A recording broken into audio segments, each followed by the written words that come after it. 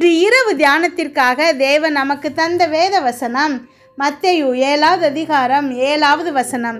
கேளுங்கள் அப்பொழுது உங்களுக்கு கொடுக்கப்படும். தேடுங்கள் அப்பொழுது கண்டடைவீர்கள். தட்டுங்கள் அப்பொழுது உங்களுக்கு திறக்கப்படும். கிறிஸ்துவுக்குள் பிரியமானவர்களே வாழ்க்கைங்கிற ஓட்டத்தில் சிலர் சீக்கிரமாகவே சோர்ந்து போயிடுறாங்க. தங்களுடைய உற்சாகத்தை முழுவதுமாக இழந்துடுறாங்க.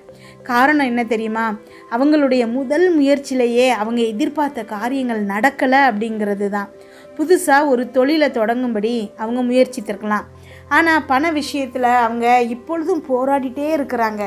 அந்த தொழிலிருந்து அவங்களுக்கு தேவையான வருமானம் வராமல் இருக்கும். அதனால் அவங்க கடினமாக உழைச்சிருக்கலாம். முழு முயற்சியையும் செஞ்சு பார்த்துருக்கலாம். ஆனால் கொஞ்சம் கூட பிரயோஜனமே இல்லாதது போல தெரியும்.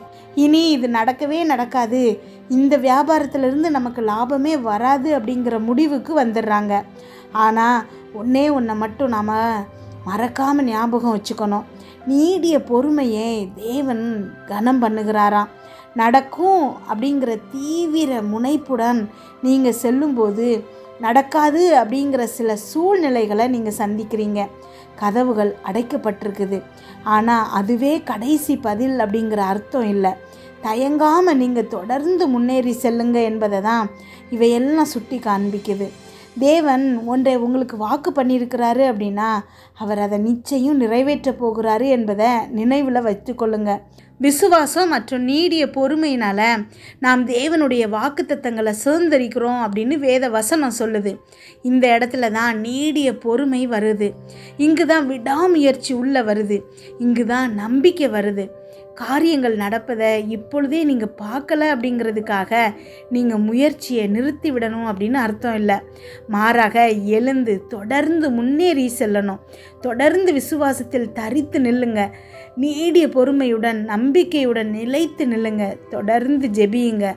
காரணம் தேவன் எப்பொழுதுமே தம்முடைய வார்த்தைக்கு உண்மை உள்ளவராக இருக்கிறாரு. ஜெபிப்போமா. எங்கள் அன்பின் பரலோக தகப்பனே இன்று முழுவதும் என்னையும் என் குடும்பத்தில் இருக்கிற ஒவ்வொருவரையும் பாதுகாத்தீங்கப்பா. உண்மை நன்றியோடு துதிக்கிறோம் ஸ்தோத்தரிக்கிறோம். இந்த இரவு வேளையில் எங்களுக்காக நீங்கள் தந்த வசனத்திற்கு நன்றி அப்பா எங்களோடு பேசியிருக்கீங்க ஒவ்வொரு வார்த்தைக்காகவும் நன்றி. இன்றைக்கு என்னோடு ஜெபித்து கொண்டிருக்கும் ஒவ்வொரு பிள்ளைகளுக்கும் அவங்க இருதயத்தின் என்னென்ன தேவைகள் இருக்கோ அது எல்லாத்தையும் சந்திங்கப்பா. கமாண்டில் ஜெபிக்க சொல்லியிருக்கிற ஒவ்வொரு பிள்ளைகளுக்காக ஜெபிக்கிறோம். அந்த பிள்ளைகளுடைய ரிக்வஸ்ட் எல்லாம் நன்றி சொல்லுகிற மெசேஜாக மாறணும்ப்பா.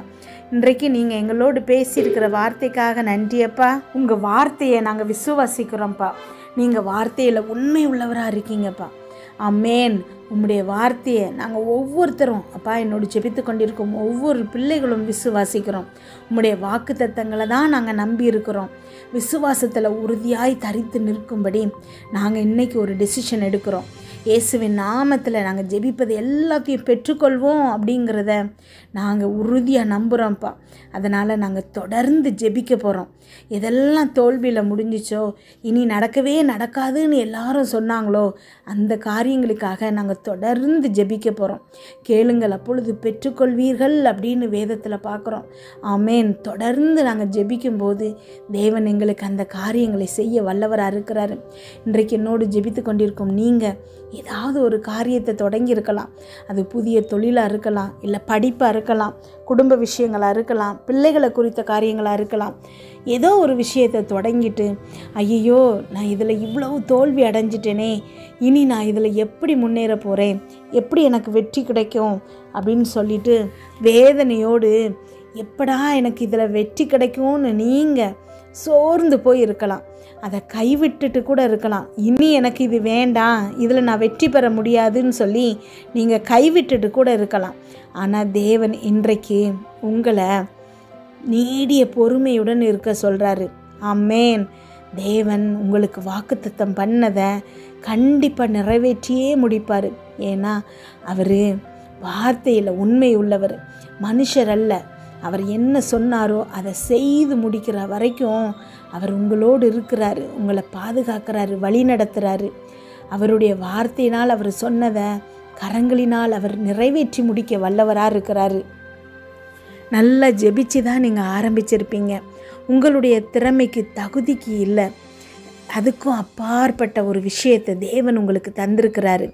ஆனால் ஏதோ சில காலங்கள் மட்டும் நீங்கள் தோல்வி அடைவீங்க. அந்த நேரத்தில் நீங்கள் மனசு சோர்ந்து போகக்கூடாது. ஏன் அப்படின்னா இந்த வேலையோ இல்லை இந்த காரியம் உங்களுக்கு கிடைச்சது உங்களுடைய திறமையினால் அல்ல. தேவனால் தான் கிடச்சிருக்கு. அப்படி இருக்கிறப்ப அவர் உங்களை கீர்த்தியும் புகழ்ச்சியுமாய் வைப்பாருங்கிறதுல எந்த சந்தேகமும் இல்லை. அவர் எல்லா சூழ்நிலைகளையும் சாதகமாக்குவார். யார் யார் உங்களுக்கு எதிராக இருக்கிறாங்களோ அவங்களுடைய இருதயத்தில் உங்களுக்கு தயவு கிடைக்க வைப்பார். அவங்களுடைய இருதயத்தை திருப்புவார். எல்லா சூழ்நிலைகளும் உங்களுக்காக வேலை செய்யும். பார்ப்பதற்கு தீமை மாதிரி சில விஷயங்கள் நடந்திருக்கும். ஆனால் தேவன் அதை கூட உங்களுக்கு நன்மையாக தான் செய்திருக்கிறாரு. அதை உங்களுக்கு நன்மையாக அவர் மாற்ற வல்லவராக இருக்கிறாரு. அம்மேன் நீங்கள் அந்த காரியத்தில் தோல்வி அடைகிற மாதிரி உங்கள் இருதயத்துக்கு தோணும். சுற்றி இருக்கிறவங்க எல்லாரும் பரிதாபப்படுவாங்க சிலர் சந்தோஷப்படுவாங்க. ஐயையோ இவன் தோத்துட்டான். ஐயையோ இவள் தோத்துட்டா அவ்வளவுதான் முடிஞ்சு போச்சு அப்படின்னு நினச்சி அவங்க கொண்டாடலாம். ஆனால் தேவன் அவர்கள் எல்லாருக்கும் முன்னாடி உங்களை உயர்த்தி வைக்க போகிறாரு. உங்களுக்காக அவர் ஒரு பந்தி ஆயத்தை பண்ணுறாரு சாதாரண சாப்பாடு அல்ல ஒரு ஃபீஸ்டையே உங்களுக்காக அவர் ஆயத்தம் பண்ணுகிறாரு. அம்மேன் அவர் உங்களுக்கு சொன்னதை நிறைவேற்றியே முடிப்பார். ஒரு வார்த்தை கூட வெறுமையாய் திரும்பாது. அமேன் உங்களை குறித்து அவர் கொடுத்துருக்கிற வாக்குத்தத்தங்கள் எல்லாமே உங்கள் வாழ்க்கையில் ஆம் என்றும் ஆமேன் என்றும் இருக்கும். நீங்கள் அது தோல்வின்னு நினச்சி விரக்தி ஆகிறதுக்கோ சோர்ந்து போகிறதோ தேவையில்லை. தேவன் உங்களுக்கு கொடுத்த வாக்கு தத்தத்தை இறுக பற்றி கொள்ளுங்க. அவர் கண்டிப்பாக உங்களை உயர்த்த போகிறாரு. அமேன் உங்களுக்கு கண்களுக்கு தெரியக்கூடிய அத்தனை கஷ்டங்களும் நீங்க போகுது. நீங்கள் கண்களில் பார்க்கக்கூடிய அத்தனை சூழ்நிலைகளும் மாறப்போகுது. இதெல்லாம் மாறுமா அப்படிங்கிற சந்தேகத்தில் இருப்பீங்க. ஆனால் தேவன் சகலத்தையும் மாற்றுறார் அவரால் செய்ய முடியாத காரியம் ஒன்றுமே இல்லை. அப்படி இருக்கும்போது அவர் உங்களுக்கு நன்மை செய்வது அதிக நிச்சயம். சிலுவையில் இயேசு கிறிஸ்து உங்களுக்காக செய்த ஒவ்வொரு காரியங்களுக்காக அவருக்கு நன்றி சொல்லுங்கள் அமேன் அவர் செய்து முடித்த காரியங்களுக்காக அவருக்கு நன்றி சொல்வோம். நன்றி அப்பா ஸ்தோத்திரம் அப்பா. ஒவ்வொரு பிள்ளைகளையும் பேர் பேராய் ஆசிர்வதிக்கிறமைக்காய் நன்றி. இந்த பிள்ளைகளுடைய கண்ணீர்கள் அத்தனையும் நீங்கள் துடைக்கிறீங்க ஏசப்பா அவங்க வாழ்க்கையில் நன்மையானதை நீங்கள் திட்டமிட்டு வைத்திருக்கீங்க. அது அவங்க வாழ்க்கையில் நிறைவேற்றி முடிப்பீங்க ஏசப்பா அமேன் அது ஏதாவது ஒரு தீமை நடந்ததுன்னா கூட அதை நன்மையாய் நீங்கள் மாற்றுறீங்க ஏசப்பா. அதுக்காக நன்றி. ஒவ்வொரு பிள்ளைகளையும் உங்கள் கரத்தில் கொடுக்குறேன் ஏசப்பா. அவங்க இன்று இரவு தூங்கும்போது சுகமான உறக்கத்தை கொடுங்க. நல்ல சொப்பனங்களை கொடுங்கப்பா. வீட்டை சுற்றியும் ரத்தத்தை தெளிக்கிறோம். அதிலிருந்து புறப்படுகிற வல்லமை எல்லா தீங்கு பொல்லாப்பு பொறாமை எரிச்சல் கெட்ட ஆவிகள் பில்லி சூனிய மந்திரம் சேவினை பாவம் சாபம் நோய் விபத்து எல்லாவற்றிலிருந்து விலக்கி பாதுகாப்பதாக. நாளை காலை எழுந்திருக்கும் போது புதிய கிருபியால் தாங்குங்கப்பா. இதை கேட்டுக்கொண்டிருக்கும் ஒவ்வொரு பிள்ளைகளின் இருதயத்தையும் உடைய கிருபையினாலும் உடைய பலத்தினாலும் இடை கட்டுங்கப்பா இயேசு கிறிஸ்துவின் மூலம் ஜெபம் கேளும் நல்ல பிதாவே அம்மேன்.